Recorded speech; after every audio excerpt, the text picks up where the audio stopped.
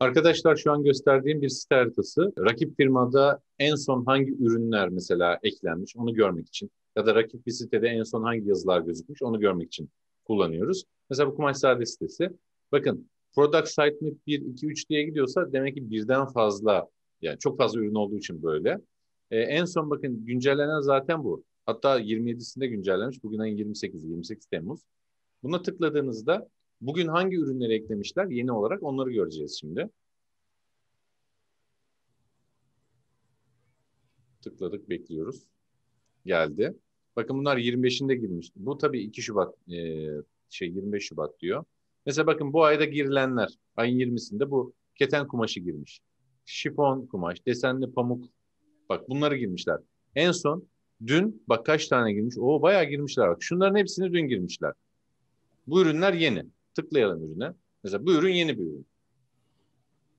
Böylece o, o firmanın en son yaptığı ürünleri görebilirsiniz. Ben kendi sistemden de şeyi göstereyim size.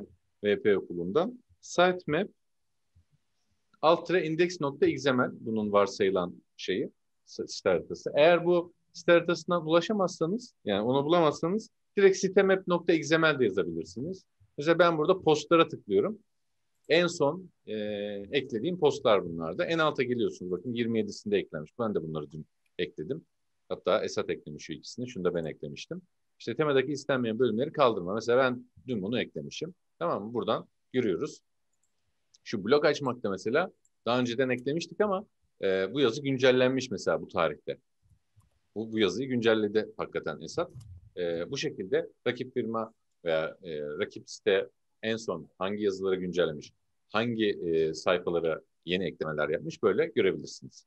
Umarım buraya kadar anlattıklarım işinizi görmüştür. Daha ileri seviye eğitimler almak, sitenizi Google gibi arama motorlarında daha üste taşımak isterseniz VP Kulübe üye olun. VP Kulübü üyelerinin neler yaptığını görmek isterseniz bu videoya bakabilirsiniz. Görüşmek üzere, hoşçakalın.